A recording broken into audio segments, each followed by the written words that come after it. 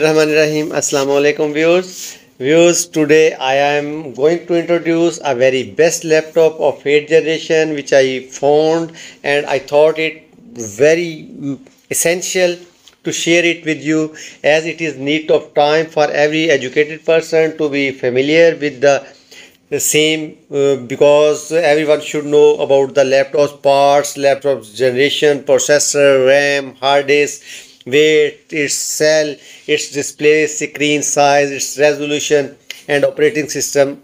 All these things should be uh, in the knowledge of every person because when you go to a shop and want to purchase a laptop, it is very necessary you, you have knowledge about it. So I also explain the uh, laptop which I purchased. Its model is Dell XPS 13 9360 i7 processor 8th generation and having the 8550u intel quad core 2 gigahertz.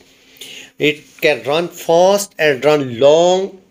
It have 8 gb ram.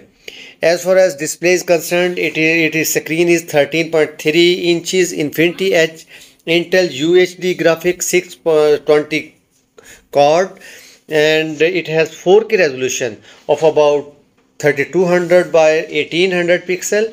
It is very good display and uh, having a very good resolution in it uh, very easy to carry. Its weight is about 1.22 kg kg. Uh, it is very light and uh, you can carry everywhere. Its battery have four cell uh, which is which you must uh, take and uh, you must see uh, when you open it uh, it have a Dell charger and UK power cable. It have eye popping clarity and ultra sharp infinity edge display. And as far as this laptop is concerned I found it very uh, very easy to uh, run because its keypad is very sharp its pad uh, or at which I, uh, I rotate my fingers.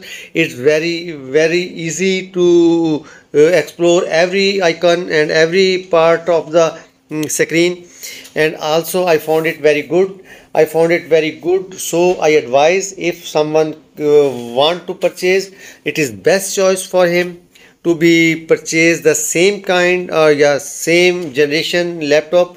And its price uh, when I purchased it it was 1 lakh and 70,000 but uh, nowadays uh, it may be uh, more cheap or more costly. I don't know. Okay. Allah Hafiz. Assalamu alaikum wa rahmatullahi wa barakatuh